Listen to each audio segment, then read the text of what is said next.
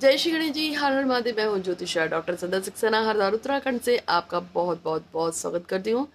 आज एक विशेष योग है जो कि शाम को पड़ रहा है, पाँच बजे से लेकर छः बज के बीस मिनट के बीच में। ऐसे में अगर आप किसी भी तरह की आर्थिक तंगी से परेशान है, पैसे की प्रॉब्लम है, आपका बहुत ज़्यादा पैसा खराब हो गया है, किसी ने पैसा मार लिया है या आपका कोई पैसा निकल के नहीं आ पा रहा है, पैसे को लेके कोई भी परेशानी हो, कोई भी दिक्कत हो, नौकरी ना मिल पा रही हो या किसी ने आपके जॉब से आपको निकाल दिया है, कारण कुछ भी हो, मुझे नहीं पता।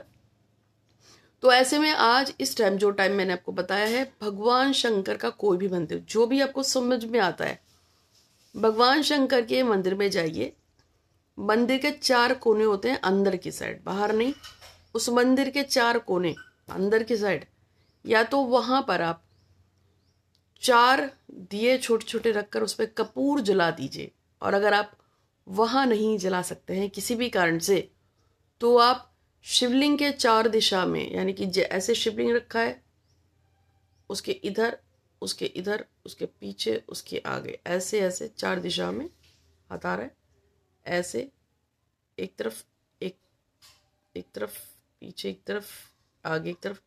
चारों दिशाओं में इस तरह से कपूर जला दीजिए। अपनी मनोकामना बोल के आपकी आर्थिक स्थिति ठीक हो जाएगी, आपकी परेशानी खत्म हो जाएगी। गारंटेड है आज ज़रूर करके देखिएगा। धन्यवाद।